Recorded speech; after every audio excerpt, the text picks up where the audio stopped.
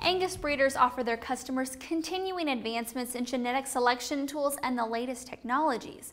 However, there's one key business tenet behind the success of every good seed stock operation, customer service.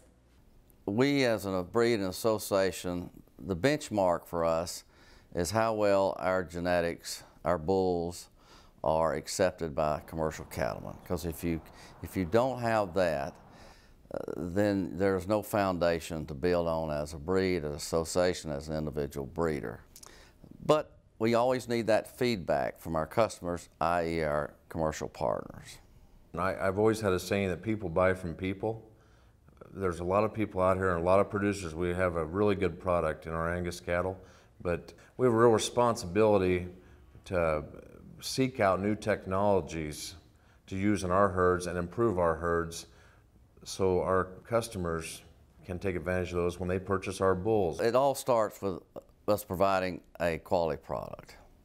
And the American Angus Association provides its breeders with all the tools to uh, provide a quality, predictable product, it, all the way from uh, AHIR and EPDs to now we've in, incorporated uh, tools like GeneMax uh, in order to be a genetic supplier.